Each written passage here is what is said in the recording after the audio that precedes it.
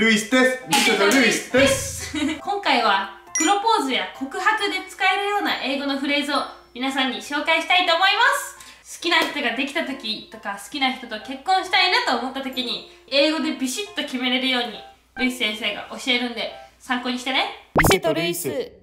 じゃあまず一つ The apple of my eye 目直訳すると私の目のリンゴ Maybe you'll hear it very often in songs or mm. something that sounds romantic or like a poem or a story. Mm. So this phrase actually comes from Christianity. In the Bible, many people speak the Hebrew language. Mm, this yeah. phrase comes from the little man in my eye. It means the little man in my eye in Hebrew.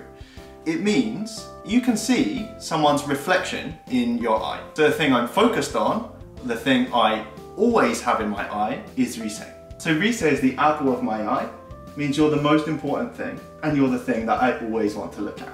Ah, can you use it? Ah, you'd need to be in a very romantic situation yeah? with your partner.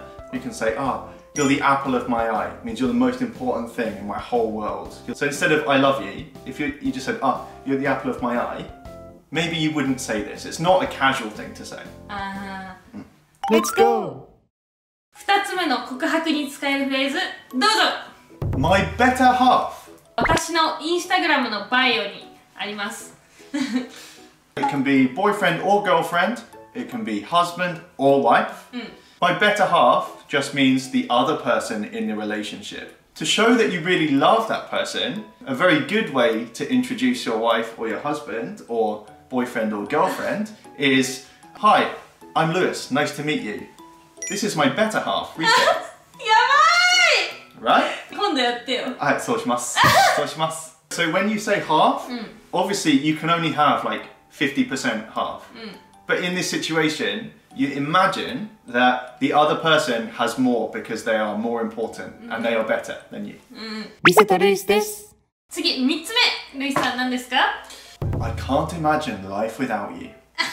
直訳するとあなたなしには生きられないっていう意味ですね日本語でもちょっと聞くようなフレーズではあるんですけど Just like me with Rise, I can't think about a life without Rise, and I don't want, like, I never would want to live that life without Rise. It's a really, really romantic phrase to use. Again, you should maybe not use every day. うんうんでもこれはルイスはプロポーズ前からこれはルイスが言っててく言ってくれてた言葉ですね、ミセとルイスですそれでは4つ目の告白に使えるフレーズどうぞ You've got me under your spell. おー So this is kind of like the phrase I'm addicted to you. If you're under someone's spell, maybe they are controlling everything you do and you don't want to do anything else that is not for that person. You will do everything for them because you love them so much. ああ、 Like そういうこ this. とか So in which situation can you use it? You could use it in a proposal, you could use it in a letter. Maybe you wouldn't use it when you are talking to your friends. This one. I wouldn't say, ah, oh, Rise's got me under her spell. I wouldn't say that. Why? I wouldn't say Rise's got me under her spell because it sounds negative. That sounds like you're controlling the So things who I do do. you use it to? You use, I'd use it to you. I wouldn't use you in third person to explain. Uh, so you directly say that to me and it's very romantic, but if you just tell someone that Rise got me under her spell, it sounds negative. Yeah, yeah. So I, I think you just wouldn't use it Okay, okay. like that. ミセとルイスですそれでは告白に使える5つ目のフレーズ、どうぞ The last phrase is, you melt my heart. あったと入れるともう心がとろけるよみたいな感じかな。 So the way I see this as a compliment to your other half, your better half, you might say, "Ah, you're hot," mm-hmm. and "you're hot" means like sexy, like you're mm. you're very attractive. Mm. If something is hot, it will melt chocolate or it will melt something. Mm. But maybe, for example, if I said to Rise, "You melt my heart," I think she's so attractive ah. that she can even melt my heart. Ah.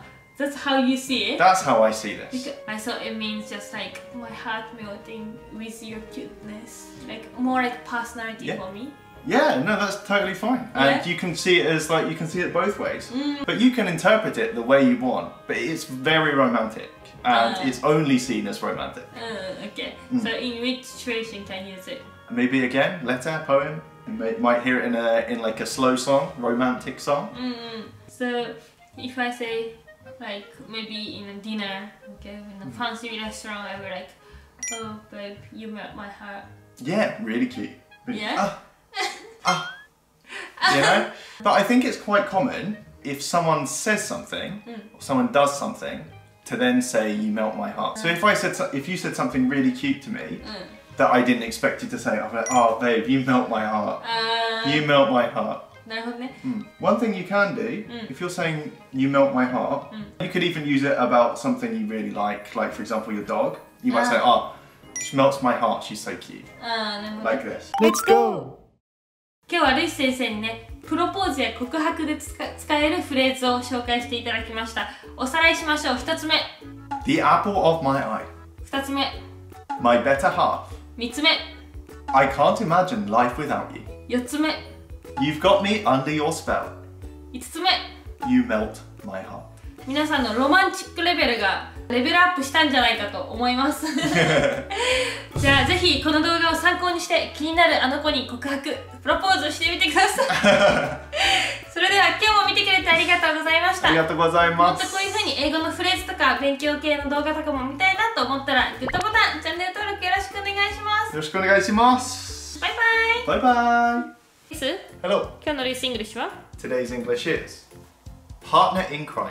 意味は共犯者でもこれは悪い意味じゃなくてすごい悪いことも一緒にできるぐらいすごい親しい仲なんですっていう意味なんだよね Yeah, so I might say to my friends, this is Rise, my partner in crime.